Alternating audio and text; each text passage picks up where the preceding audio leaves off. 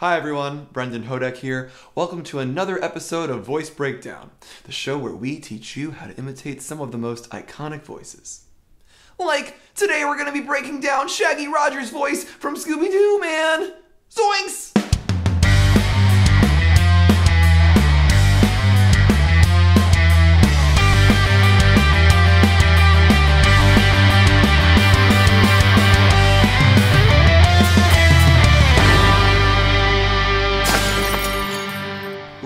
Episode, we broke down Scooby's voice, but we couldn't possibly do Scooby's voice without also breaking down the voice of his best friend, Shaggy.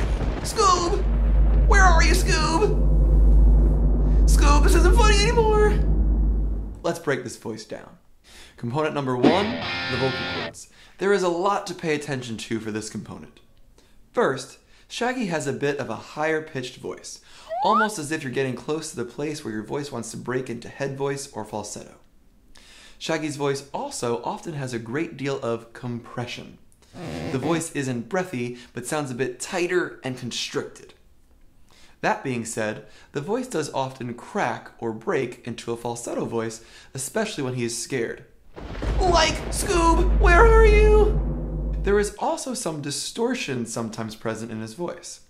This is caused by having some vocal fry. Vocal fry is the cracking or popping sound you can make with your vocal cords.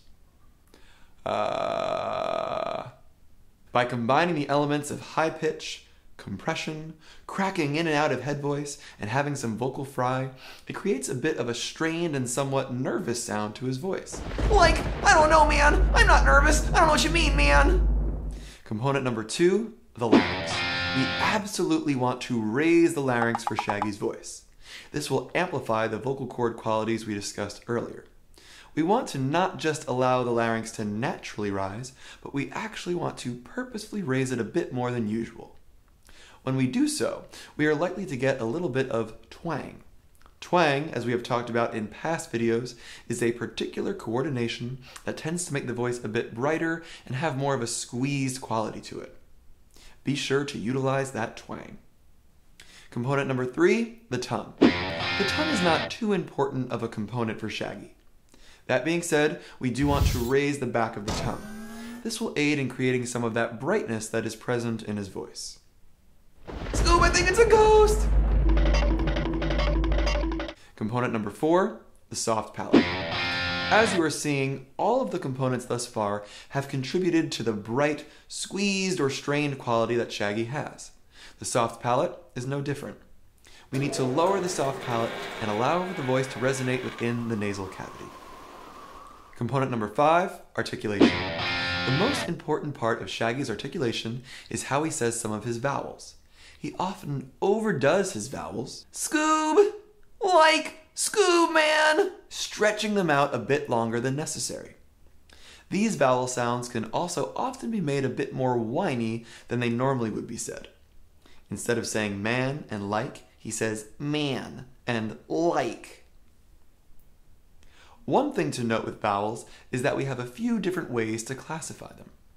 There are two types of vowels known as monophthongs and diphthongs.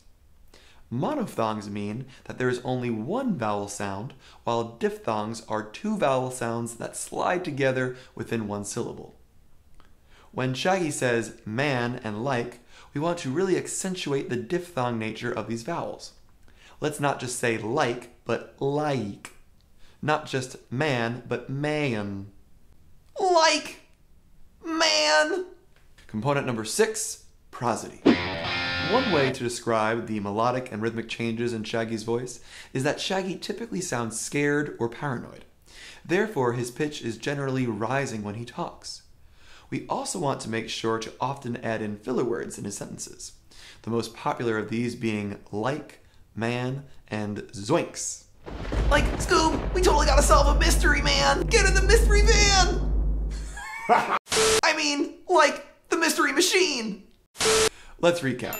Component number one, the vocal cords. Raise the pitch, add compression, frequently break into falsetto, and utilize vocal fry. Component number two, the larynx. We want to significantly raise the larynx. Component number three, like the tongue. Raise the back of the tongue to aid in creating the brightness of Shaggy's voice. Component number four, the soft palate, man!